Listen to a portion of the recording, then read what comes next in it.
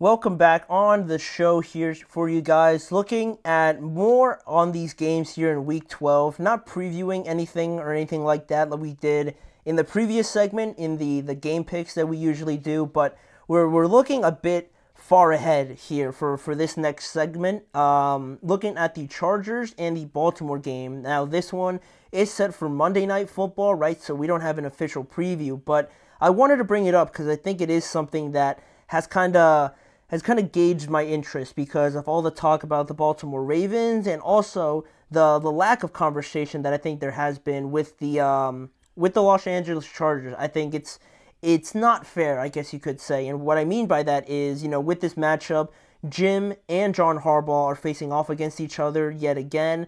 Back on the NFL stage on Monday Night Football, you couldn't have asked for, for a better stage for this game, but um, you know, it, with that being with that being said, you know, both of them have their teams virtually with the same record and, and playing equally as good a football, in my opinion. Right, the the Ravens are seven and four, and the Chargers are seven and three. The Chargers actually uh, leapfrog the the Baltimore Ravens after the Chargers won last week against the Bengals, and the Ravens lost last week to the Pittsburgh Steelers. So instead of the Ravens being the fifth seed, now that actually belongs to the Chargers, if you believe it or not. So I think that that enough kind of suggests the kind of season that the Chargers are having, but also um, I think it just adds to the the importance of this game. Not only because you know you have that brother rivalry, right? Obviously, but to to determine seeding, right? We're talking about the fifth and sixth seed who would play the who is it? Who would play the the Steelers and who would end up playing the the Texans if things stand as they would uh, right now. Also, you know, how does this impact Denver? Could they potentially, you know, sneak up and maybe leapfrog the Ravens if they lose?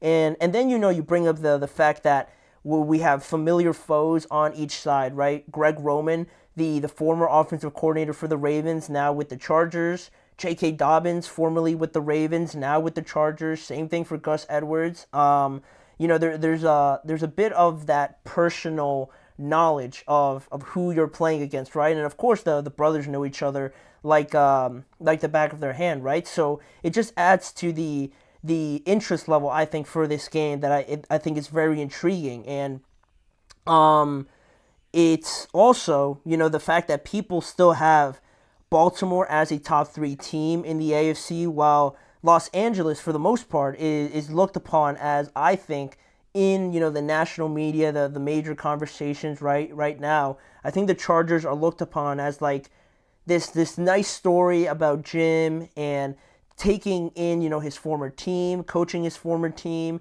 coming back into the NFL, and how it's all nice and like good for them, right? They're, they're having a nice season. They're I feel like they're not really taken seriously, and for that to, to be the case right now, um, you know, it feels like they're overachieving where um, people don't really have them in that tier with the Chiefs, obviously, the the Bills or the Ravens, even, or even the Steelers, right? I feel like there's a, a bit of a gap there still, despite the record not being far off from from three out of those four teams, right? And it doesn't really sit too well with me. I, I feel like the Chargers and what Jim Harbaugh's doing and has been doing, I think deserves a bit more credit. And the result of this game could affect that and people's perception of not only the Chargers, right, bringing more attention to them, but also the Baltimore Ravens, right? Um, starting off with the Chargers, though, first of all, right now, I think the the Chargers how they're built and and what the the mo is on them is that right they're a tough, gritty team based on defense, based on winning at the line of scrimmage, offensive line and defensive line likewise. Running the ball is huge for them and also limiting turnovers. Justin Herbert only has one interception this entire year, which is nuts. Um, and also, you know, we talked about defense and winning at the line of scrimmage. Their defense overall is first in points allowed, only allowing like like two touchdowns, 14 and a half points per game to the players that they have, right? Cuz they've had talented players. They've had Derwin James now for a while. They've had uh, Joey Bosa for a while. They've had Khalil Mack for, I believe, his second or third year now with the Chargers as well. And even with that, even having those good players, the defense hasn't really looked like like definitely not where they are right now, number one in points uh, points allowed per game. But I think to their own credit, having the talent, but also to the immense credit of of Jesse Minter. If you guys don't know, that's their new defensive coordinator, right? Coming over with Jim Harbaugh from Michigan. Those two guys came over to Los Angeles, and Jesse Minter is doing a great job with that group as well. And looking at how they've played, how they've fared, you know, some people will say that they've benefited off of a pretty easy schedule. And it's hard to argue with that, honestly, but um, you know, we've seen a lot of teams drop some some gimme games, right? Um, so, you know, I do agree that their schedule definitely hasn't been the hardest, but it hasn't been like a cakewalk either, right? Certainly. And, you know, their best win came last week against the, the Cincinnati Bengals, where we talked about it a little bit and how it was going to be a huge test for this Chargers defense to kind of see where they were, but also with the with the offensive side of the ball, right? How they would fare with, you know, Justin Herbert, obviously a great quarterback, right? You can compare him to Joe Burrow a little bit, right? In, in that regard, but also the the offense, right? You don't have Ja'Marr Chase, you don't have a Tee Higgins, right, on that side for the Chargers, and it was going to be a big test for them to see if they could put up points and essentially keep up with them, which they did. So I thought they aced that test last week, and their their defense and offense, both of them, I thought played very well. But I think even despite all of that, um, quite fairly, I, I would admit they're still missing, you know, that real like like catalyst, you know, kind of game where they they prove a lot of people wrong and it's they're missing a game where you look back on and look and say, you know, they they beat this team, right? They're still missing that. And I think the the Bengals game could have been that, but the way they're going, you could still make an argument that the Bengals aren't really there. But this game now against the Ravens is is the optimal opportunity for them to get that game under their belt. So that's kind of like what they're bringing to the table, right? To, to try and defeat the Baltimore Ravens as well. And on the Ravens side of things, right, we kind of know their MO. It's been talked about a lot uh, this season. An insane offense, right?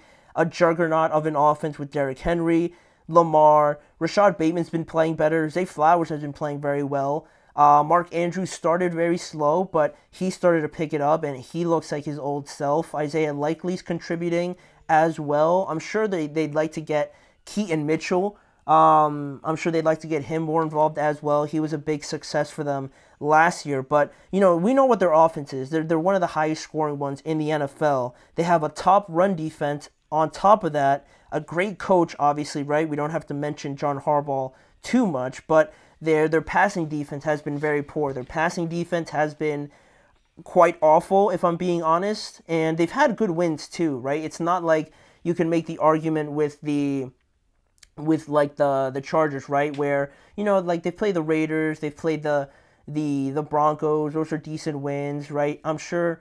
I'm pretty sure they played the Panthers as well, but the the Ravens have have wins against the the Bengals in two great games. The Commanders, they're considered a good team. They beat the brakes off of the Bills, right? And the Bills are the number two seed right now. So it's um they definitely have more to their credentials, I would say. And after last year too, right? The number one seed, right? They have more credentials, more to, to kind of base their legitimacy off of, right? I think that's that's where everyone's coming from with the Baltimore Ravens. But now we bring up the possibility of the idea that the Chargers maybe could win this game and what happens if they do, right? How significant is a win for them if they they host the Baltimore Ravens and they somehow defeat this juggernaut offense and put up more points again and and you know Jim Harbaugh I don't think he's beaten his brother in the NFL yet. I could be wrong, but from what I've seen, I don't think he's beaten him yet. So that that you know that goes on its own, but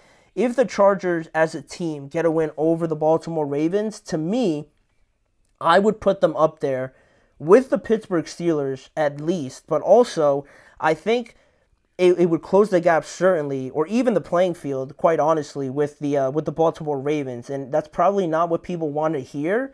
But I feel like that's the the significance that we're talking about. I think if the Chargers actually beat the the Ravens and, and do a good job and go in there and maybe beat them like I don't know like like 34 to, to 31 or something like that and, and put a point and, and have a decent defensive performance, maybe get a turnover or something like that. I think you at least have to put them up there because not only of the record, but directly they just beat them. And if it's a game like that, right, um, and the Chargers don't mess it up for themselves, right, I think you at least have to even the playing field with the Ravens. And I think that's one thing that could happen. Also, if people still had doubts about their defense, if they go out there and play a good game against Lamar and, limit Derrick Henry, easier said than done. I think it ultimately legitimizes them as a top top two or the best defense potentially in the NFL, right? The Steelers will have something to say about that, or or the Chiefs or whatnot, right? But that would be a very impressive win, all in all, if the Chargers are able to do that. Also, um, I think there should be more talk about Justin Herbert. He's done a very good job this year. Maybe the numbers don't jump out at you like like Joe Burrow's, right? With like 27 touchdowns and 5 interceptions, which is phenomenal, but Justin Herbert has less impressive numbers, but his team is playing better than the Cincinnati Bengals, right? Obviously, he has 13 touchdowns and one interception, and he's sixth in the NFL in quarterback rating right now. So it's not flamboyant, it's not flashy or anything like that, but I feel like the word is efficient that would describe Justin Herbert and this offense, right? It's what Jim Harbaugh wants to see from his team, so I think that fits them perfectly, and more people should start talking about Justin Herbert in the kind of the year that he's having if he was to win and um, you know outperform uh, Lamar Jackson also. And also, kind of just like a as a side note, the Steelers just defeated the Ravens with a similar sort sort of blueprint, right? Like a, a top three, top five defense, a offense that's maybe not so convincing yet, but they have good pieces here and there the Steelers and the Chargers are very similar. So maybe the Chargers can take something from that Steelers game and apply it. And in that way, I don't really think it's so impossible for the Chargers to uh, to for the Chargers to to not win this game. But then on the other side, if the Ravens were to lose this game, you know what would that mean for them, right? Depending on how they lose, in my opinion, I think would be significant, right? If they lose by like like 10 points or something like that and their offense drops another dud, um, I think that would be significant, but also just the loss, regardless, just in general, I think would uh would be impactful all in all, right? Because when they lost to the Steelers, right, all I've been hearing is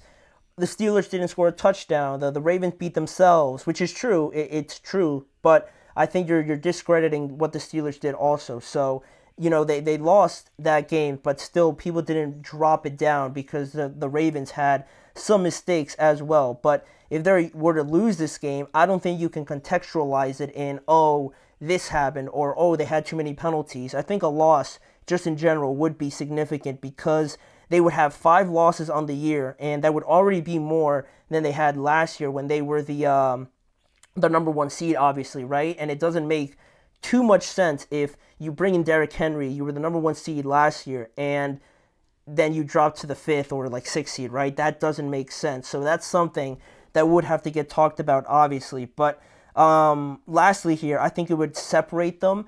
It would certainly create a gap for me from them and the, the Buffalo Bills and uh, the Kansas City Chiefs. I, I would have a hard time putting them in that group if they were to lose, right? I think I would group them with the the Chargers and the the Steelers, right? More so than the Bills and the Chiefs if they were to lose this game. But um, also, lastly, I think if Lamar doesn't play well, or even if just the, the Ravens lose in general, I think that would take a, a big hit to his MVP chances as well. I think it would lean more towards uh, Josh Allen, Josh Allen at this point. So, you know, it, it's it's huge, but also, you know, for for the Ravens to win, I don't want to make it sound like it just wouldn't mean anything.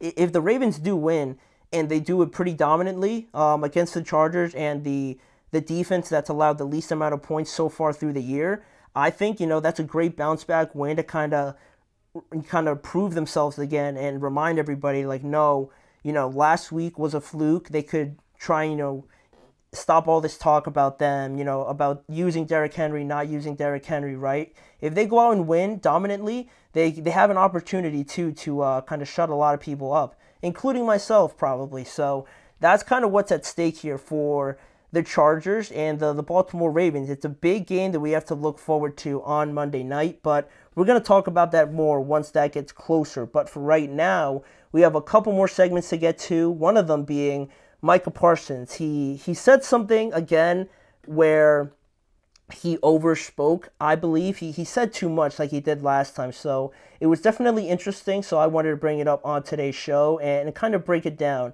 like like we usually do with the Cowboys. So we're gonna talk about that and you know have a conversation about it when we return after this break.